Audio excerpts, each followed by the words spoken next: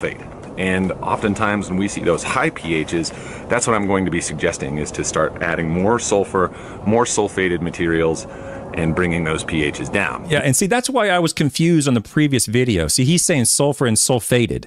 And I was confused on a previous video because I thought he said the same thing. I thought he said sulfur and sulfated materials, and he's conflating the two. They're not the same, John, when it comes to pH. It's not the same. He is saying that sulfate will reduce soil pH. It, it just, it's not going to happen. Aluminum sulfate will.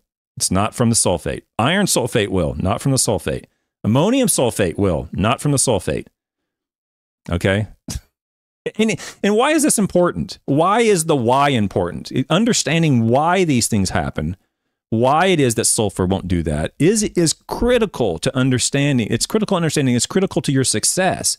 Because if you know that, if you know, if I'm using sulfate as an example, if you know that sulfate won't do that, then you can make a wise decision. You can make an, an agronomic and an economic decision that's in your financial best interests to alleviate, let's say you had a sulfur deficiency. You can do that with sulfur or, or sulfate. But let's say you had a pH issue. You can make a better decision if you understand the whys. You can better manage your turfgrass soil system more effectively, more efficiently, financially, and agronomically if you understand the whys. That's why it's important to us. We need to understand the whys. And I get it. You're not going to spend 10 years or eight years in college like some of us do to understand the whys. I get it. Okay. You're better at other things. You're not going to necessarily, necessarily do that. But on some fundamentals, the fundamentals of water, light, temperature, injury, so fertile soils, the fundamentals of fertile soils, some of these fundamentals are not that difficult to find.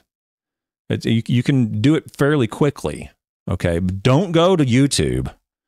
Don't do that. Go to your extension office. The links to all the extension office, the turfgrass programs at, in the university in the universities in the United States are in the description of every video. There's a PDF, and you can click on that PDF. It opens up, and you can look at all the turfgrass programs in the United States. Go to one of them and ask them.